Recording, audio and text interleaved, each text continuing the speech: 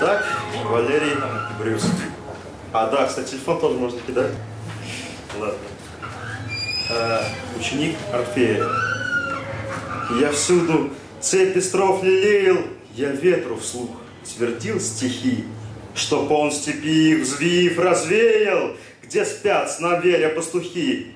Просил у эхо рифм ответных в ущелье гор, В тиши елы искал черед венок сонетных, В прибое бьющем мол валы, Ловил в немолчном шуме моря Метр тех своих живых баллад, Где ласку счастья, жгучесть, жгучесть горя Вложить в античный миф был рад. В столичном грозном гуле тоже, Когда гремя, звеня, стуча, Играет город в жизнь прохожий.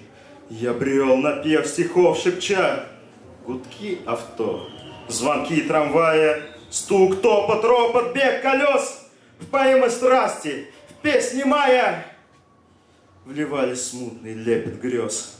Все звуки жизни и природы Я облекать в размер привык. Плеск речек, гром, свист непогоды, Треск ружей, баррикадный крик.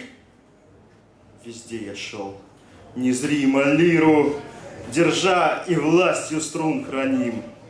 Свой новый гимн готовим миру, Но сам богат и счастлив им.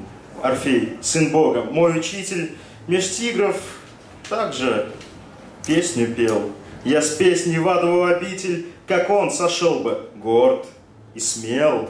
Но диким криком гимн Минады Покрыли, сбили лавру венца, Звефтир сорвали без пощады Грудь восходившего певца.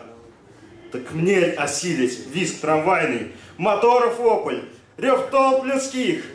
Жду на какой строфе случайный. Я с жизнью оборву свой стих. Спасибо, Саш, прости.